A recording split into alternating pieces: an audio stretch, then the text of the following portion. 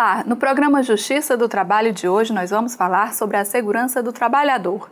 O Tribunal Regional do Trabalho do Ceará realizou o primeiro seminário nordestino do programa Trabalho Seguro no mês de setembro. Na ocasião foram levantados vários questionamentos sobre a segurança do trabalhador. E para falar mais sobre esse assunto, nós temos como convidados aqui no estúdio a Procuradora Regional do Trabalho do Estado do Rio Grande do Norte, Ileana Neiva Mouzinho, e o juiz do trabalho e coordenador do programa Trabalho Seguro no Ceará, Carlos Alberto Trindade Rebonato. Sejam bem-vindos. Obrigada. Bom, agora a gente vai acompanhar uma reportagem sobre a segurança do trabalhador. Com mais de 50 anos de história no Ceará, esta fábrica de castanha de caju, ao longo de sua trajetória, sempre se preocupou em se atualizar não só com relação ao processo de produção em si, mas buscou também meios de otimizar o trabalho que é realizado por mais de 700 funcionários como, por exemplo, oferecer total segurança aos colaboradores. Nós investimos maciçamente na, na, na, na segurança do trabalho, né? Para controlar os riscos existentes aqui na empresa, né? Como a adoção de EPIs e, e, e outros equipamentos que amenizem né, os riscos ao trabalhador. As ações planejadas de forma preventiva é um dos principais fatores que favorece a inexistência de graves acidentes na fábrica. Há os treinamentos, né? Nós fazemos aqui o passo, né, que é o, o plano, é, o programa anual de saúde, é, saúde, ocupacional, segurança e saúde ocupacional, né, que é, é, feito em todas as turmas, né, certo? Então, nesse programa nós é, damos treinamento sobre os equipamentos, conscientizando sobre a respeito dos acidentes, né, para que o funcionário evite é, é, se, se como é diz, ao, ao risco, né? evite se, se expor ao risco. E nós procuramos engajar também todos os supervisores e gerentes né? nessa mesma como é que diz, linha, né? Para poder nos ajudar, porque só os técnicos também não, não faz milagre. Então os, os, os nossos supervisores, gerentes também nos ajudam, né? Tá não está vendo alguma coisa errada, tem que chegar e reclamar a hora, né? Não é assim, tá? orienta direitinho, tá para poder todo mundo se engajar na segurança. Né? A segurança é o dever de todos, né? Não é só do SESM, né? Todos somos responsáveis por ela, tá? Esta funcionária trabalha aqui há mais de 10 anos. Ela se orgulha de fazer parte do grupo e revela que se sente segura durante o serviço. A empresa tem todo um cuidado com a segurança dos funcionários. Nós temos a CIPA, que é uma companhia interna de proteção contra acidentes, e temos um, uma equipe de pessoas que são treinadas. E além disso, nós temos equipamentos que são os EPIs, que são distribuídos e assim, a empresa tem todo um cuidado em verificar se o funcionário está usando, é uma monitoração. Nós, supervisoras, fazemos também esse trabalho, ajudamos essa equipe para verificar se o funcionário realmente está usando. Temos EPIs, são os protetores auditivos, são distribuídos os uniformes, os sapatos, e também não deixa de ser um equipamento de proteção do funcionário. Eu me sinto segura sim. Eu trabalho aqui há 15 anos e o tempo já fala por si. Bom, para a gente começar, né? De quem é a responsabilidade com relação à segurança do trabalhador? A responsabilidade é da empresa. Né? Quando alguém executa uma atividade empresarial e coloca pessoas a seu serviço, assume os riscos da atividade econômica, inclusive os riscos de acidentes de trabalho. Por isso é que nós não podemos aceitar a concepção de que um acidente de trabalho ocorre por culpa da vítima, porque é, a empresa é obrigada a ter um arcabouço de segurança, a mensurar todos os processos de trabalho e estabelecer meios para que os riscos da atividade laboral sejam neutralizados ou minimizados, reduzidos a zero, se possível. Não é? Então, nós sabemos que hoje, no atual estágio da tecnologia, é, é, possível diminuir esses riscos. E muitas vezes as empresas, por questões econômicas, por custos na prevenção, preferem apostar que o evento, o acidente do trabalho, não irá ocorrer. Preferem apostar em probabilidades. Só que existem determinadas atividades econômicas que a probabilidade dos acidentes ocorrerem é muito maior do que a de eles não ocorrerem. E, no entanto, essas atividades ainda estão muito aquém da prevenção desejável. Isso, só complementar, isso nós estamos falando na questão principalmente de acidente. E tem o adoecimento e nós temos a, o famigerado a, a insalubridade e a periculosidade, mas principalmente a insalubridade, onde o trabalhador vende a saúde para o empregador. Então, nós temos uma legislação que se acostumou com essa, com, a, em admitir essa possibilidade de ter atividades que são insalubres, que são agressivas à saúde do trabalhador e o trabalhador trocar isso por alguns centavos, alguns, alguns reais. E é o que nós estamos hoje, que a nova tendência mundial é acabar tolerância zero, tanto com a questão de prevenção ao acidente, quanto a questão do trabalho insalubre. Exatamente. É, o Ministério Público do Trabalho tem uma atuação preventiva nos inquéritos civis, colocando nos termos de ajustamento de, nos termos de, ajustamento de conduta a obrigação das empresas de terem programas de segurança efetivos e implementá-los de acordo com as melhores técnicas. Isso significa fazer um programa de prevenção de riscos ambientais rastreando o risco por cada setor de trabalho e comparando os dados de um ano com o ano anterior o que significa isso? Se em determinado ano se identifica que num supermercado, no setor de corte de carne ou nas câmaras frias, há um risco é, representado pelo frio e também pelo esforço que é feito para armazenar esses produtos nas prateleiras dentro da câmara fria, se num determinado ano se observa que determinados trabalhadores estão adoecendo por aquelas causas, então no ano seguinte, aquela identificação de adoecimento deve resultar em ações efetivas no programa de prevenção de riscos do do ano seguinte. Nós temos que entrar com medidas como a previstas na NR36 sobre o trabalho em frigorífico, que além da pausa é, prevista na CLT, institui novas pausas, pausas ergonômicas. Né? Nós temos que evitar os movimentos repetitivos, nós temos que adaptar as máquinas ao homem e não o homem à máquina. Então, trabalhar prevenção significa caminharmos uh, para novos conceitos, abandonando conceitos arraigados como o ato inseguro da vítima, conceitos como se, é, que determinadas máquinas não podem ser corrigidas. Nós estamos num alto grau de desenvolvimento tecnológico que não justifica uma, as empresas hoje estarem lutando para assustar no Congresso Nacional a NR12, por exemplo, e querer continuar usando máquinas obsoletas que trituram, que traumatizam pessoas. E ao final, os custos desse adoecimento são suportados por todo o povo brasileiro. Né? Vimos no seminário realizado pelo Tribunal sobre Saúde e Segurança que 70 bilhões são gastos por ano pelo Brasil para a recomposição da mão de obra em relação aos acidentes de trabalho. Por exemplo, gasta-se com SUS, gasta-se com a Previdência Social. Né? O trabalhador adoecido é mais um na fila do SUS. Então, nós também procuramos trazer o Sistema Único de Saúde para essa discussão. O Ministério Público procura chamar o, o Sistema Único de Saúde para notificar os acidentes de trabalho, porque é uma grande subnotificação principalmente das doenças. Imagine-se dos traumas, que é difícil esconder uma morte, um trabalhador que perdeu uma, uma, mão ou um braço. Imagine as doenças do trabalho, silenciosas e que muitas vezes vão se manifestar anos depois. Bom, a gente vai fazer um rápido intervalo e volta em instantes com o programa Justiça do Trabalho.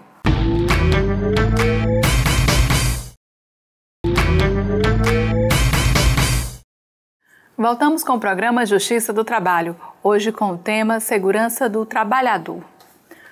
Bom, é, as empresas então têm responsabilidade sobre essa questão da segurança do trabalhador, mas a, até que ponto elas são obrigadas a trabalhar nessa na prevenção, né? Algumas empresas são obrigadas a ter um técnico, um supervisor, enfim, com, como é que é essa realidade? Até que ponto elas têm a obrigação com relação a isso? A nossa Constituição diz que é dever das empresas reduzir os riscos inerentes ao trabalho, através da adoção de normas de saúde e segurança. Então, as normas de saúde e segurança são as chamadas NRs, normas regulamentadoras, editadas pelo Ministério do Trabalho, têm força de lei, porque a consolidação das leis do trabalho, a CLT, estabelece no artigo 200 que o ministro do Trabalho editará essas normas regulamentadoras.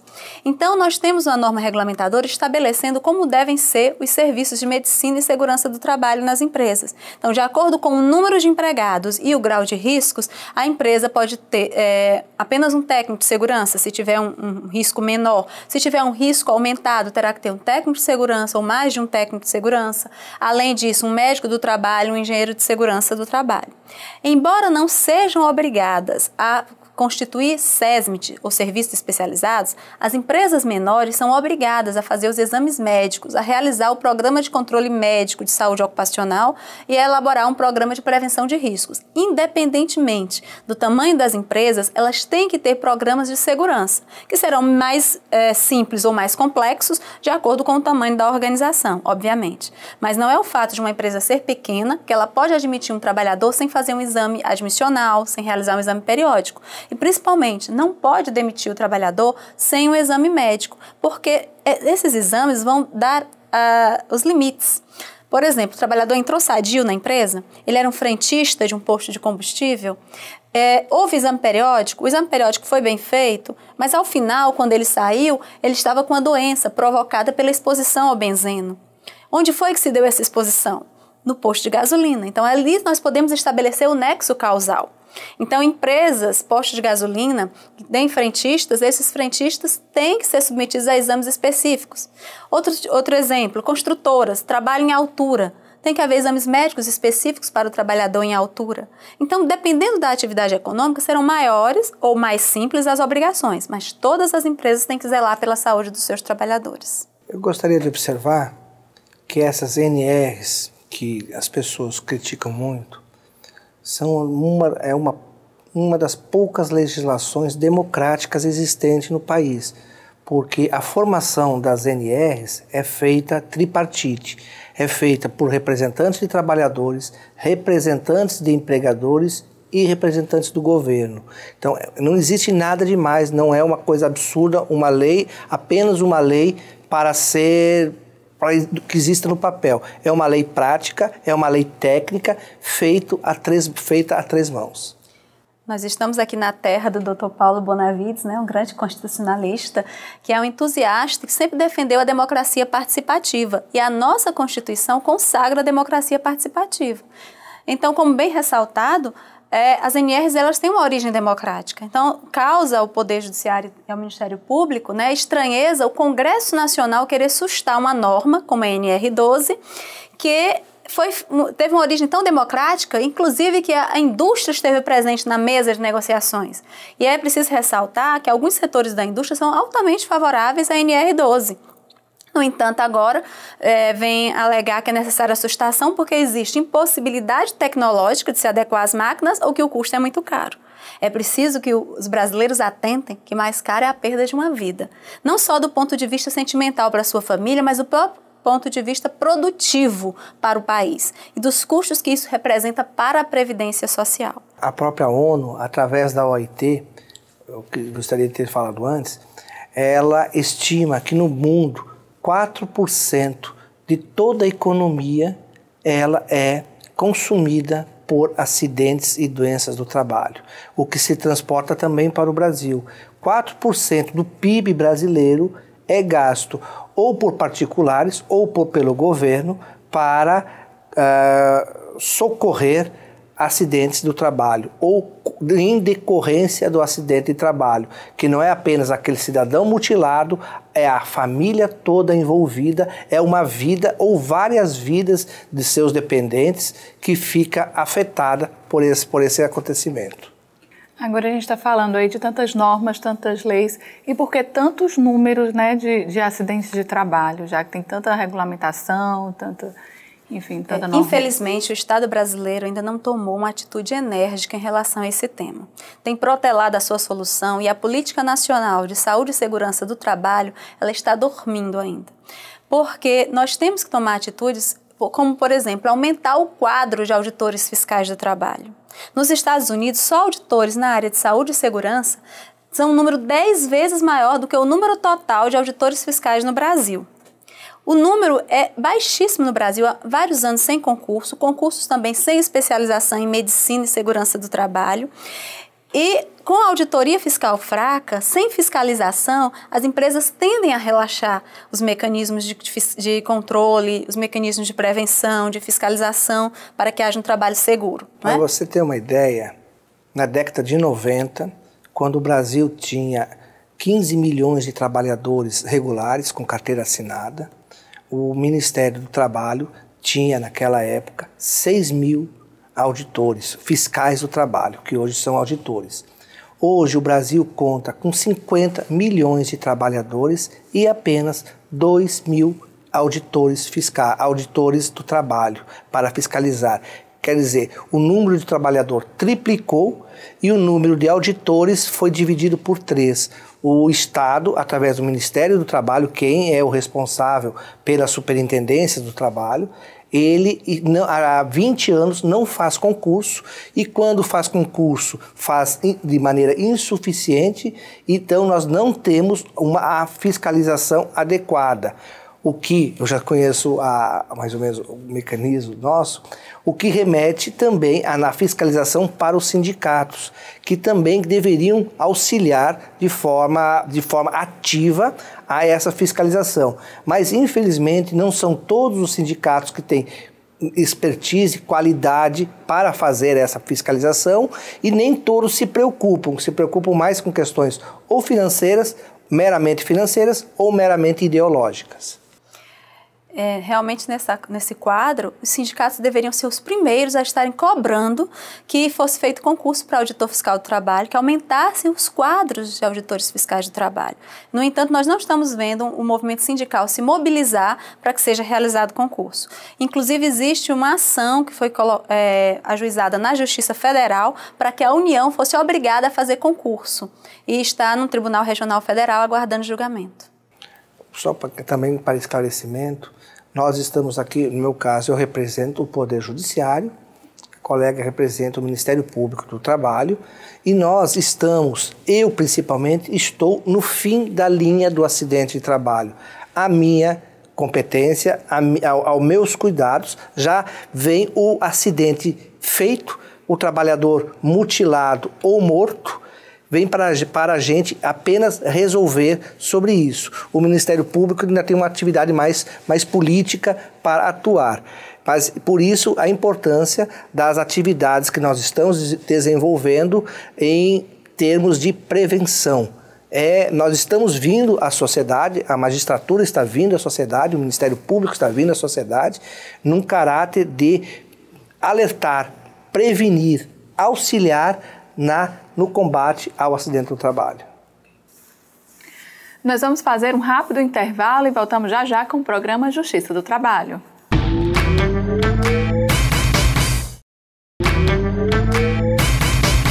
Estamos de volta com o programa Justiça do Trabalho, hoje com o tema Segurança do Trabalhador. Bom, de que forma é, as instituições, Justiça do Trabalho, Ministério Público do Trabalho, têm atuado, têm buscado colaborar aí para lutar contra tantos acidentes de trabalho, né, para atuar nessa questão da prevenção? O Ministério Público do Trabalho tem uma atuação extrajudicial e uma atuação judicial. Na atuação extrajudicial, nós criamos e ou então acompanhamos a criação de alguns fóruns de prevenção de acidentes de trabalho nos estados. Então, nos reunimos com os sindicatos de trabalhadores, com empresas, com instituições do Sistema S, como o Senai, o SESI, o SESC também, as instituições recreativas e também as de industrialização, é, organizações não governamentais. E discutimos os acidentes de trabalho, como melhorar a prevenção, inclusive também nos aproximando das universidades para melhorar a formação dos engenheiros de segurança do trabalho, dos médicos do trabalho, dos técnicos de segurança do trabalho, para que eles abandonem velhos paradigmas como o ato inseguro, que apenas culpabiliza o trabalhador, mas não resolve o problema da prevenção, de onde estiveram realmente os erros organizacionais que originaram o acidente do trabalho. Nós também atuamos junto ao Sistema Único de Saúde. O Ministério da Saúde tem uma política de saúde do trabalhador e da trabalhadora. Essa política de saúde do trabalhador precisa ser implementada nos estados, pelas secretarias estaduais de saúde, nos municípios, pelas secretarias municipais, de forma que, quando um trabalhador chegue doente a uma unidade de saúde, a mais simples, unidade básica de saúde, até um hospital de alta complexidade, se possa identificar se ele tem uma doença do trabalho ou se aquele trauma é originário de um acidente de trabalho. Isso seja notificado estatisticamente é, às vezes, o objeto das ações civis públicas, como as indenizações por dano moral coletivo, são revertidas para a União, para melhorar a fiscalização do trabalho. Atuamos em parceria com Polícia Federal, Polícia Rodoviária Federal. Criamos uma rede de articulação para a prevenção dos acidentes de trabalho, para melhorar a fiscalização. Atuamos bastante também em relação à previdência social é, insistindo que a Previdência Social ingresse cada vez mais com ações regressivas, que tenham um conteúdo pedagógico e também um conteúdo ressarcitório, porque gastar 70 bilhões por ano com acidente de trabalho, comprometer 4% do PIB com acidente de trabalho, nenhum país suporta. E a gente tem que dar é, solução a isto, né? além de preservar vidas, uma questão também que é econômica para o país. Eu sempre ressalto isso. Além dessa atuação extrajudicial nas políticas públicas, nós temos a atuação extrajudicial em chamar as empresas, ao término do inquérito civil, quando o procurador tem as provas, formou seu convencimento de que o acidente de trabalho ocorreu por culpa da empresa ou que o quase acidente ocorreu, porque é muito importante se falar do quase acidente, porque o quase acidente ele é revelador de uma disfunção da organização de segurança da empresa. Então, jornadas excessivas de trabalho, trabalhos em turnos ininterruptos de revezamento ultrapassando as seis horas, o trabalho noturno, várias condições inseguras de trabalho. Quando nós, no inquérito civil, temos a prova dessas condições, nós chamamos a empresa para firmar um termo de ajustamento de conduta. Se a empresa se recusar a firmar o termo de ajustamento de conduta, aí nós vamos à fase judicial e ajuizamos ações civis públicas. Até 2005, o Judiciário do Trabalho não acessava, não conhecia, não julgava, não apreciava acidente de trabalho. O acidente de trabalho era da justiça comum. Em 2005, quando nós recebemos essa competência, de presente a gente recebeu milhares de processos que estavam na justiça comum. Esses processos foram a, apreciados, instruídos, julgados foram para os regionais e foram bater no TST, no Tribunal Superior. Quando bateram no Tribunal Superior, por volta de 2009, 2010, 2011, os próprios ministros se assustaram. Os ministros tiveram um, um, uma preocupação muito grande com aquela carnificina que estava acontecendo com a saúde do trabalhador que chegava às mãos deles. Por isso que, por iniciativa dos, dos ministros, então ministro Dalazen, presidente do, do Tribunal Superior do Trabalho, foram criadas comissões, uma comissão nacional e, uma, e comissões em todos os regionais para trabalhar a questão da prevenção ao acidente de trabalho.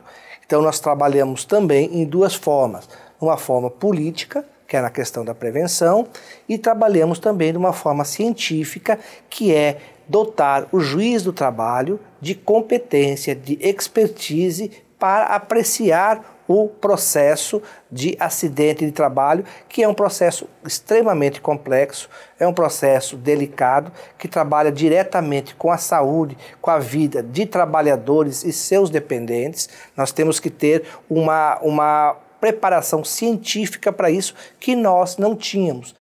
E politicamente nós estamos lutando para, em primeiro lugar, juntar a sociedade civil, os diversos órgãos, o Ministério Público, o Ministério Público, o Ministério Público do Trabalho, a, o Ministério do Trabalho, universidades, governos municipais, governos estaduais, principalmente escolas e sindicatos, para trabalhar a prevenção de, do, contra o acidente de trabalho. E nós partimos de um raciocínio muito lógico. Toda criança que vai à escola, vai se alfabetizar, um dia ela será um trabalhador ou será um empregador. Aqui no Ceará nós já conseguimos uma incluir em 97 escolas técnicas uma cadeira de eh, noções de direito do trabalho e segurança de saúde do trabalhador. Nosso próximo passo é colocar isso em todas as escolas de primeiro grau, que geralmente são de âmbitos municipais, e escolas de segundo grau, que são de âmbitos estaduais. E também estamos negociando a, mudança de currículos de faculdades, como a de, de, a de Direito, a as faculdades de Medicina, faculdades de engenharia, faculdades de administração, pois elas trabalham, esses, essas, esses jovens que estão nessas faculdades serão os líderes empresariais ou trabalharão, ou trabalharão para líderes empresariais. E por incrível que pareça, não existe nada dando orientação a um médico sobre a necessidade de notificações.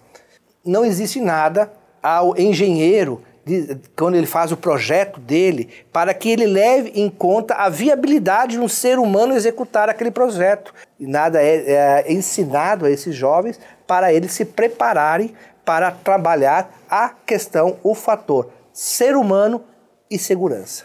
Okay. Bom, agora a gente vai conferir o quadro Julgamentos. Vamos acompanhar o resultado de mais um julgamento das turmas do Tribunal Regional do Trabalho do Ceará. Uma estagiária da Fundação Edson Queiroz, que cumpriu uma jornada superior a 30 horas semanais, teve o vínculo de emprego reconhecido e ganhou o direito de receber horas extras mensais pela jornada excedente. Apesar de no contrato de estágio constar uma carga horária de 30 horas semanais, a estagiária era obrigada a cumprir uma jornada de 40 horas. E, além disso, trabalhava também aos sábados, domingos alternados e feriados. A empresa alegou que não houve prestação de hora extra, e sim complementação das horas de trabalho do contrato. O horário não trabalhado seria compensado em alguns fins de semana. Os desembargadores da segunda turma do TRT Ceará reconheceram o vínculo de emprego e a fundação foi condenada ao pagamento de 20 horas extras por mês durante o período de vigência do contrato de trabalho. A decisão confirma a sentença da terceira vara do trabalho de Fortaleza, mas ainda cabe recurso. O Tribunal Regional do Trabalho do Ceará possui três turmas e um pleno. O julgamento das turmas acontece na sede do TRT, que fica na Avenida Santos Dumont 3384, na Aldeota. Bom, nosso tempo acabou. Obrigada pela participação dos senhores. Eu que agradeço. É sempre interessante falar sobre esse tema e esclarecer a população sobre seus direitos. Bom, o programa Justiça do Trabalho fica por aqui. Mais informações sobre o TRT Ceará no site www.trt7.jus.br. Você também pode tirar dúvidas sobre direitos trabalhistas no programa Minuto do Trabalho, transmitido pela Rádio CBN todos os dias. O programa Justiça do Trabalho também está disponível no nosso site. Você pode participar com dicas e sugestões. É só enviar para o e-mail justiçadotrabalho@trt7.jus.br ou ligar para 85 3388 9426. Até mais!